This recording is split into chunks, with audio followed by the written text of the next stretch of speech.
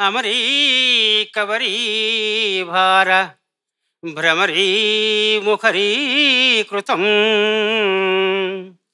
దూరీకరోతు దురితం దూరీకరోతు దురితం గౌరీ చరణ పంకజం.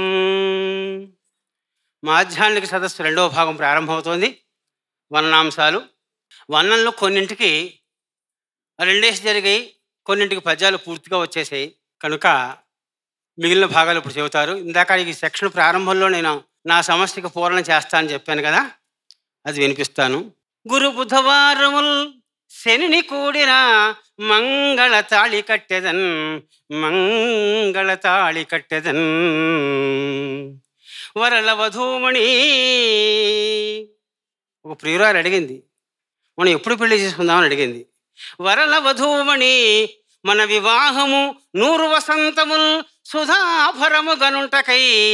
మన వివాహము నూరు వసంతముల్ సుధాభరము గనుంటకై. గురులు వంజులు పెద్దలు రావలెన్. పెద్దలు వచ్చి ఆశీర్వించాలి పెద్దలు ఆశీస్సులు ఇవ్వకపోతే మన వివాహం పరిపూర్ణం కాదు. గురులు వంజులు పెద్దలు రావలెన్.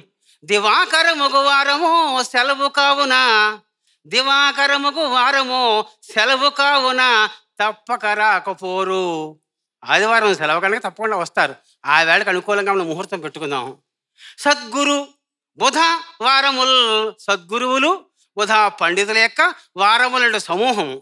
సద్గురు బుధవారముల్ శనిని కూడిన శనివారం రాత్రికి వస్తే శనివారం రాత్రికి వస్తే మంగళ తాళి కట్టేదన్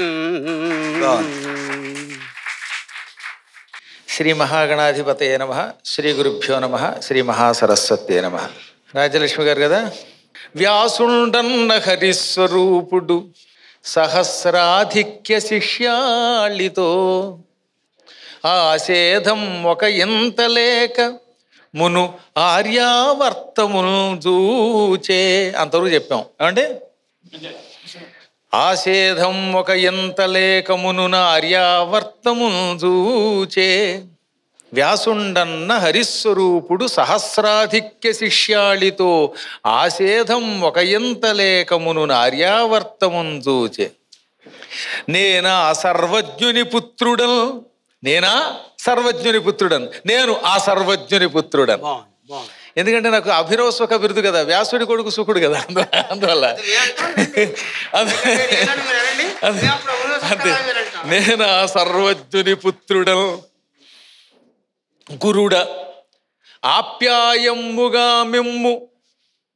ఆప్యాయమ్ముగా మిమ్ము. నేనా సర్వజ్ఞుని పుత్రుడన్ గురుడన్ ఆప్యాయమ్ముగా మిమ్ము.